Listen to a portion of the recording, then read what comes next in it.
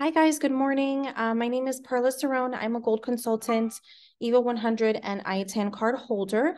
I wanted to just hold a very, very short training on how to um, send over and actually use small PDF when um, using the credit card authorization form. That way you can send it over electronically, send it in an email, um, and um, it'll get sent to your client. The client can then sign electronically, and then it's going to get sent back to you with their signature and also with an audit report. So it's time stamped and everything. Okay. So I wanted to just show you how to do this really quick. It's very easy to do. Okay. So I downloaded the, oh, wrong thing. Sorry. I downloaded the credit card authorization form. Okay. So I am just going to fill this out very quickly just to show you.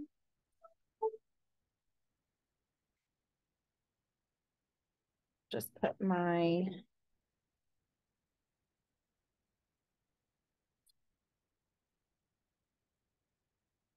All right. However you want to fill this out is your decision, right? So we're just going to put here um, Sally Smith. Um, that will be your client's name. And then you are going to then put your business name here in terms of independent contractor. Okay, under guest name, again, will be your client. Here we can just put package. Supplier name. So usually for the supplier name, I will put the name of the hotel or um, like I will then include like the airline with the hotel. So let's say it's United slash um, Marriott. Okay. Confirmation number, um, let's just say A, one, two, three, four, five, six. Departure date. We're just picking some random dates here. Contact name, again, is going to be Sally Smith. Name as it appears on the credit card for the client. Last four of the credit card, one, two, three, four. Total charge, let's say it was $5,000. Expiration.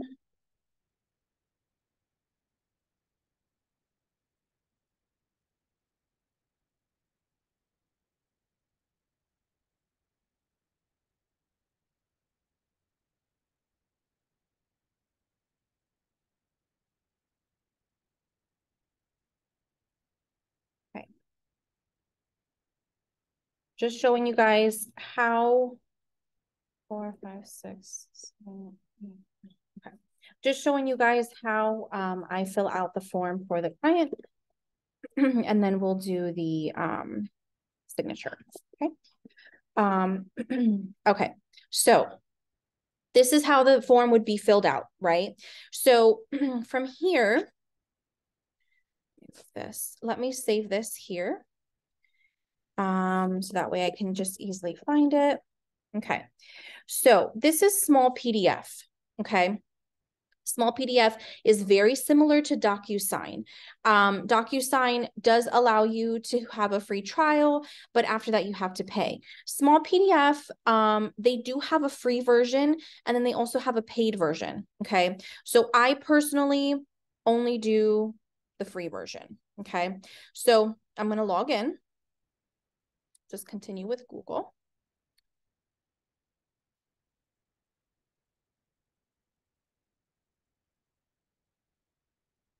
Okay, so this is how it's going to look like to me. It's going to tell me that I need to renew my subscription because I don't have a subscription. Okay, but I did find a way around that you are still able to use small PDF and its um, features with a free version. Okay, by not having a subscription. So what you do is right here where it says e-sign PDF, you're going to click this and you're going to choose a file. Okay. Now we're going to look for Sally's credit card authorization form. And here it comes up. Okay. Now this um, small PDF allows you to make changes to the form if you need to. So if for whatever reason you did a typo, or let's say you just want to upload the file empty, like how it was, you can do so and um, just fill it out from here. Okay. So this is what it looks like, right? So now you're going to hit invite signees. Sally Smith. And because this is a fake person, um, I'm just going to put my other email address.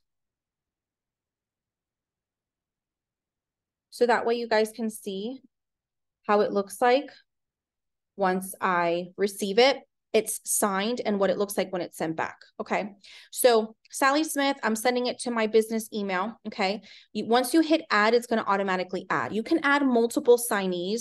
Let's say, for example, you had two people you were splitting the payment or something, I don't know, for whatever reason, um, you can then just hit continue. Okay, so now Sally Smith is the signee. She is assigned to this document. Okay, so now we're going to hit review and send. All of these other boxes here, this is going to be really for Sally, okay? Because we are not the ones actually signing this document. Um, there's nothing that you need to worry about here, okay? Because everything is already filled out.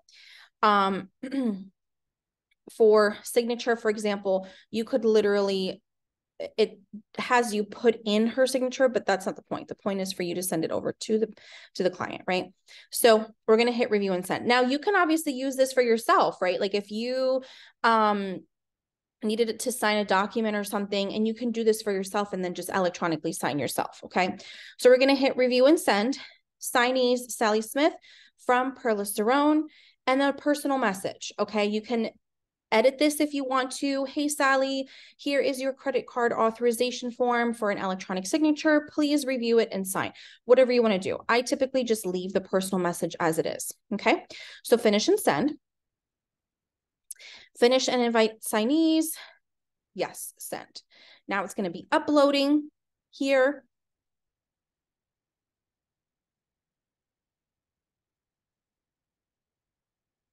Processing. And I just got an email. It's always going to come up with this seven days free trial, right? Um, otherwise, so it has a seven day free trial. But otherwise, you have to wait a total of almost 14 and a half hours to work on another file. So let's say, for example, I had a credit card authorization form that I really needed signed for someone else, for another client. Um, I would have to wait another 14 hours to actually be able to do it for free. Okay. But I will tell you a little trick. What I have done is I have two accounts with small PDF. I have I have a free account with my personal email and I have a free account with my business email. So in the event that I do need to really send over something to sign, I will just use one of the other accounts and it it doesn't flag or anything like that. Okay, so just a little tidbit, um, just a little trick there. Okay, so I just got an email. So let me go ahead and open that. Okay, so this is what it's going to look like to the client. It's going to say, Perla Ceron invited you to sign. And then it's going to have the name of the file that I already titled it, right? So now it's going to say, hi, Sally. Um, you have until 6-8 to sign, okay? So it gives them a pretty good amount of time, but usually I will tell clients I need it back immediately. So as soon as you receive that, send it back right away, okay? So they're going to hit access and sign. It's going to bring them to small PDF, okay? Now they click on your signature. They can draw it, they can type it in, they can upload. So let's just say I want to type it in and Sally wants to be a little fancy. She wants to create that signature. Okay, so now this is Sally's signature. She can also add in initials if she wanted to. Okay, so now we're going to click this and it's going to bring Sally Smith's um, uh, signature here. She can make it bigger. She can make it smaller. She can change the color, right? Whatever. Okay, this is, I'm pretending I'm Sally. Okay, so now me being Sally, I'm done signing this form. I'm going to finish and send and it's going to say, Are you ready to sign and submit the document? We will send you a copy by email. Yes, send. It's going to do the same thing. It's going to upload, it's going to process.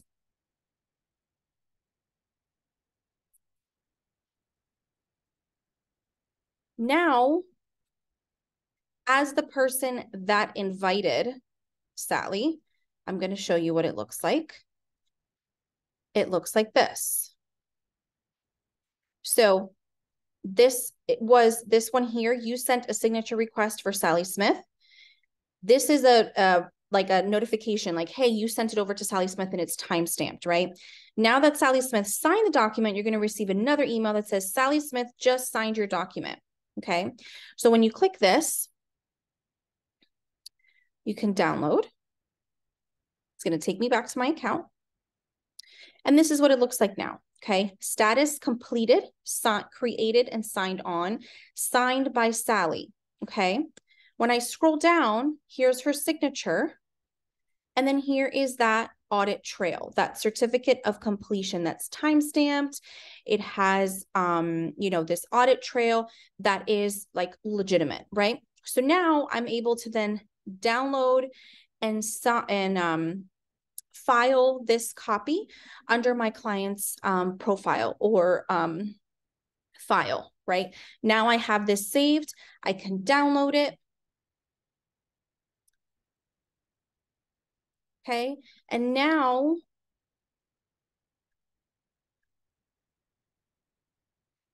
it comes up here, downloaded. Okay. With my clients, um, with the certificate of completion. And this is what I save. Okay. So just a really quick video just to show you guys, you can still do the electronic signature um, very quick and easy to do. Okay.